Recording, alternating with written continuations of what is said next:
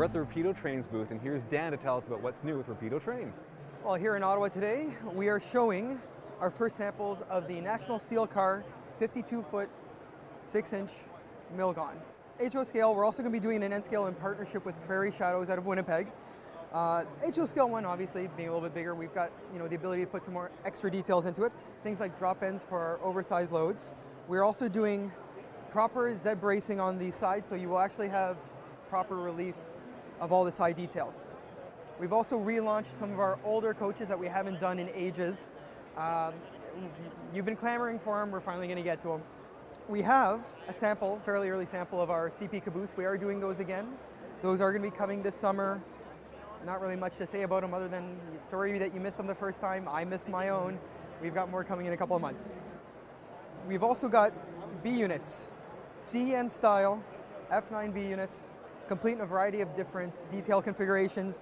They're available in unpowered, powered with DC, powered with DCC and sound, variety of different configurations, road names, road numbers. If you want them in unnumbered, we're making them in unnumbered, undecorated as well in case you want to do uh, Milwaukee Road, for instance. CNF units, FP9s. Those are finally on the way. The first ones are leaving the factory in about a week or so. We should be seeing the CN green scheme ones about a month and a half after those arrive. It's been a while, but it's coming. Um, I guess the, the star of the show of sorts is our GMD1 here. Um, very, very early rough test casting, all sorts of problems with it. We know, you don't have to tell us. We're aware of that. It's an 1100 body on a 1000 chassis, completely modular, all sorts of different detail variations. Uh, just like all of our other stuff, we got a full underbody. We've got the six wheel version here. We're doing a four wheel version with steam generators for those guys that are doing 1900 series passenger units. It's also going to be available at later dates in the more modern units as well. First, we're going to do the as-built versions, the 1000s and 1900s, because well, they ran in that configuration for a long time.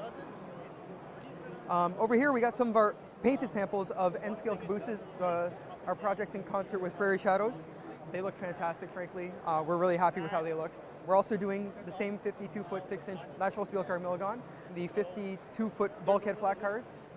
Again, this is all in concert with Prairie Shadows. If you're interested in them, give them an email. Their website is prairieshadows.com. And then finally, I, we've got a couple of Via Rail cars up here. We, uh, we are going to be doing all the Canadian cars separately. Um, we should be announcing the first car around December, maybe January. Um, it's you know six, seven months off in the future. Who knows what'll, happen by then? But they are coming. Give us some time. They will be out.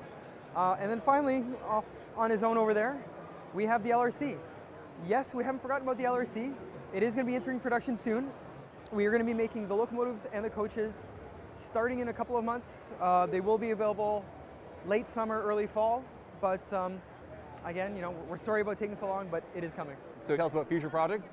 All right. So, um, well, the, the one that's most obvious, I guess, would be the FPA4, um, MLW uh, built unit. We've started the design process on it. We haven't started tooling. Tooling's still a little ways off. We are thinking about how we're going to accomplish it. We've got some other locomotives in mind. I guess, like I said, the Budd cars, we're going to be doing a lot more of the Super Continental Line cars as well. A lot of stuff that you might have missed the first time, we're going to be doing again because, hey, it's been seven years now. Let's, you know, let's go back and do them. Other than that, you know, a lot of stuff coming. We've got more N-scale stuff coming too for you N-scale guys. So, uh, yeah, keep tuned. Okay, that's great. Thanks a lot. No problem, Phil. All right, cool. Take care.